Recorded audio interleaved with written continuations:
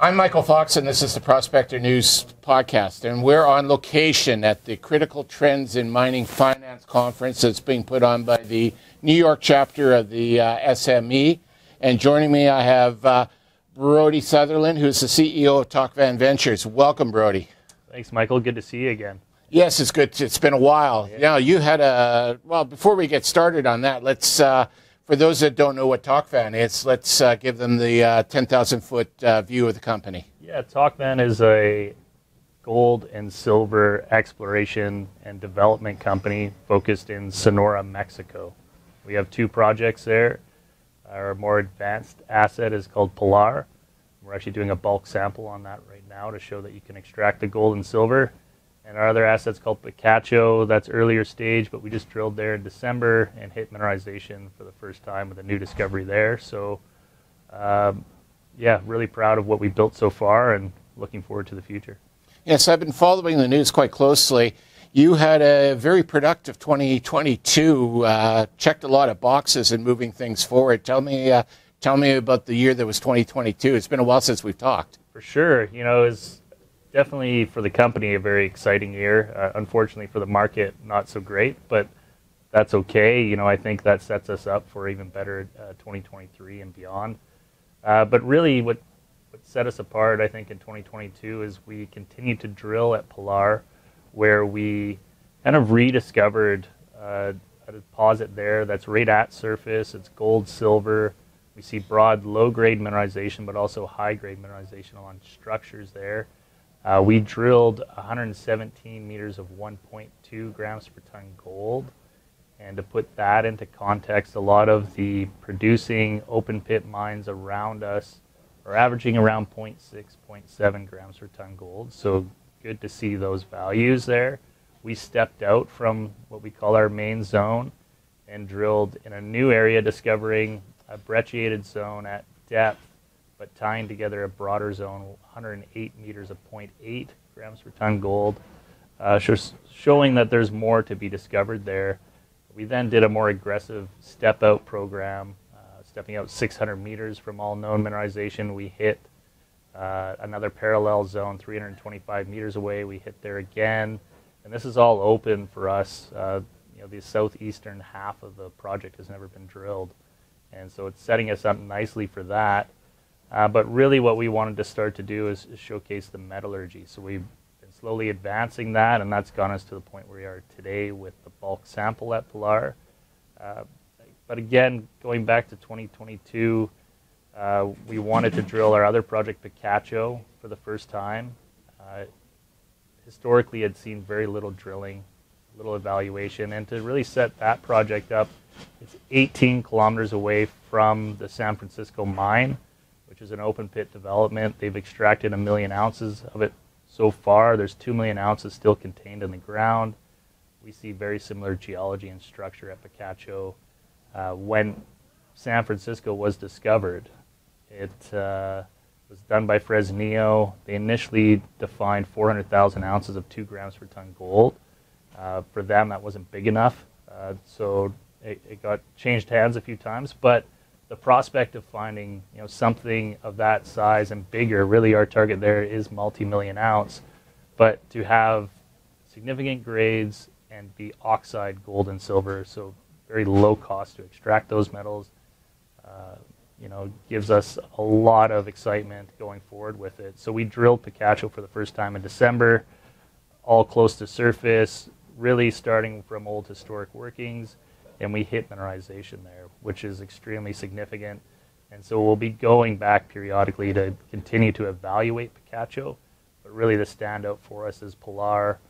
And because of that balance between the projects, you know, we've been able to attract financing to keep us going. So you know, we're very happy to have a family fund involved that's uh, been very supportive for us and will continue to be uh, for the future here. Um, but again, as gold is starting to perform again and, and show a shift of sentiment towards it, and silver, uh, we think we're in a really good position here. Yes, definitely, and it's good to be tightly held with family offices as well. It keeps the, the share prices from taking those big swings. What I also like is the old fact that somebody's trash is somebody else's treasure. Uh, just because that wasn't big enough for Fresnillo doesn't mean it's not big enough for an operator like yourself.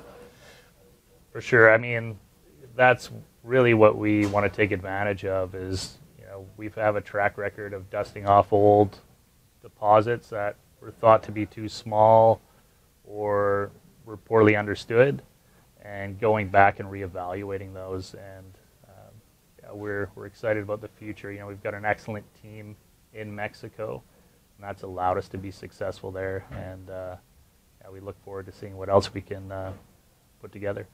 So looking forward, 2022 is behind behind us. We had good success. Uh, going forward, what's the plans for 2023? Yeah, really, our focus right now is that bulk sample at Pilar. So we've extracted 1,400 tons of material from Pilar at surface. Uh, this was evaluated through trenching and channel sampling identify that material. Uh, we've now moved it over to a test facility site that's close by. Another benefit of being in, in Sonora is there's mines everywhere, so that helps. Um, and we've crushed all that material. It's now stacked, and we're starting the leaching process to essentially evaluate on a smaller scale uh, what a mine uh, type process would look like and showing that we can actually recover that gold and silver uh, which we're quite confident we can. We've done some preliminary studies with the metallurgy that's suggesting that most of the gold and silver, upwards uh, and beyond 90%, is free.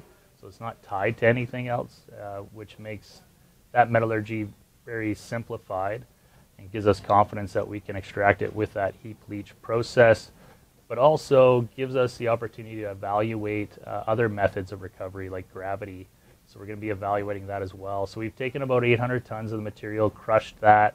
It's on the pile. It's being heap leached right now.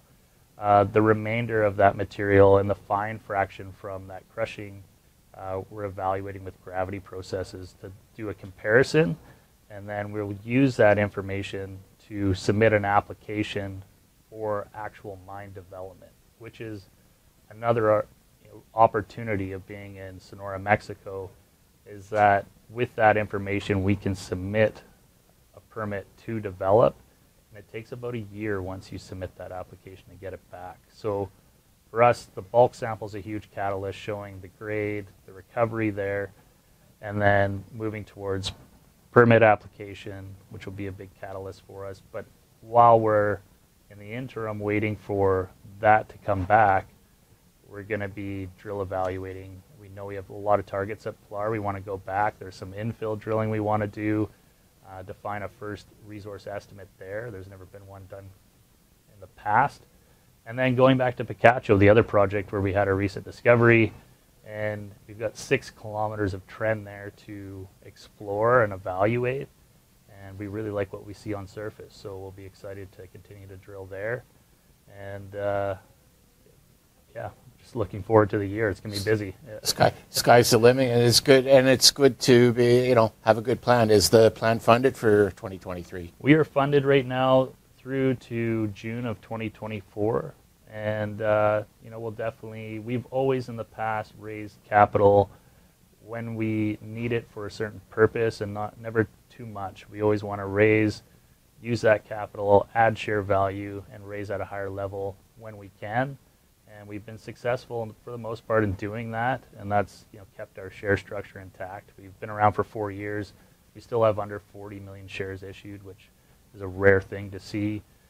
And uh, yeah, we'll we'll continue to evaluate what makes sense for us in, in the future here for um, additional capital, but we're very confident and comfortable with where we're at. Oh, that's good. So the meteorol- uh, the meteorology test, I could never spit that one out. That was a tongue tie- tire for me. Um, those results are due approximately when? You know, we've uh, been rolling out kind of preliminary results as we go here. We did a diagnostic leach study we put out last month, which is showing some encouraging results. Uh, we expect the final from the heap leach processing later in June, and that's actually going to have us, you know, recovering gold and silver and being able to show that, um, which is quite significant. Uh, but in between now and then, you know, we expect to get uh, results out. We've basically tested what we think the head grade is going to be, so those results are pending. But again, what we're seeing in the pre- preliminary results is that Uh, that grade is looking to be above 1.5 grams per ton gold with about 10 grams per ton silver, which again, if you look at our regional comparables, is, is looking really nice. So um, we'll have consistent news flow leading up, and also as we continue to evaluate that material, um, and then that's going to lead us into uh, future drilling. Perfect. Uh, and the drill program start when? Uh, we want to get back drilling as quick as we can. Um, you know, I think it's we'll see how, where we're at exactly. Uh, we want to go back to Pilar and channel sample all the trenches we've opened up from the bulk sample and uh, so that's going to be priority one for us, and then go back and drill using that information as well. Um, so we'll see on exact timing, but uh, I'm hopeful in the next few months we'll be uh, very active on the with the drill campaigns on both projects. Wonderful. Thank you very much for joining me today.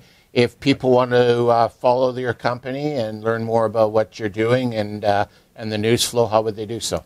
Yeah, you can go to our website, tocvan.com, T O C V A N uh, you can go on social media, Twitter, LinkedIn. We're quite active on uh, Tocvan Ventures.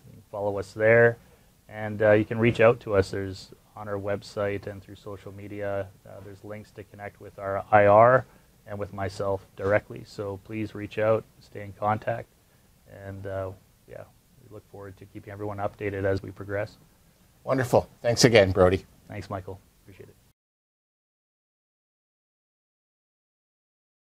The Prospector News podcast is for educational purposes only. The opinions expressed are those of the participants and are not to be taken as investment advice. Listeners need to do their own due diligence and seek advice of a licensed investment advisor.